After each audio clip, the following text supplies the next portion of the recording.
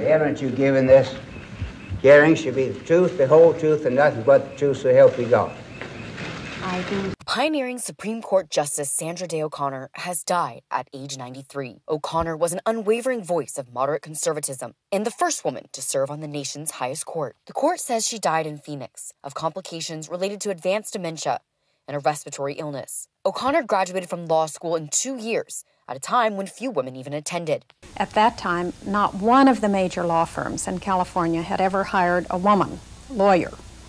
And I finally got one job offer from a major law firm in Southern California, and it was as a legal secretary. O'Connor was nominated in 1981 by President Ronald Reagan. See, I made a commitment that one of my first appointments to the Supreme Court vacancy would be the most qualified woman that I could possibly find.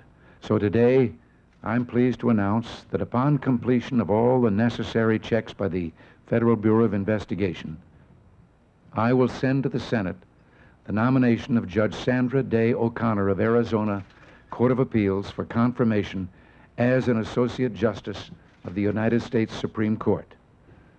She is truly a person for all seasons. And was unanimously approved by the Senate, becoming the first woman to serve on the Supreme Court. This is a momentous day in my life and the life of my family.